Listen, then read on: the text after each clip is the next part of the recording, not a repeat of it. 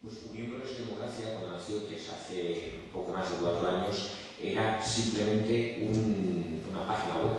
Una página web, eso ganándose plataforma pro, venía de, del movimiento cívico hasta allá, y la gente, mmm, no había oficinas físicas, no había, no había un espacio real, era todo virtual, y la gente que quiso apuntarse al proyecto se apuntó a través de plataforma pro, su, su nombre, sus apellidos, mediante eso fue como fuimos capaces de hacer la presentación del partido, de tener las primeras eh, personas que, que dieron lugar a que, a que se fundara un progreso de democracia y que, y que surgiera como un movimiento que se pudo transformar en un partido y en las primeras elecciones, en las elecciones generales del año 2008, fue fundamentalmente la página web y los blogs, porque todavía Facebook, eh,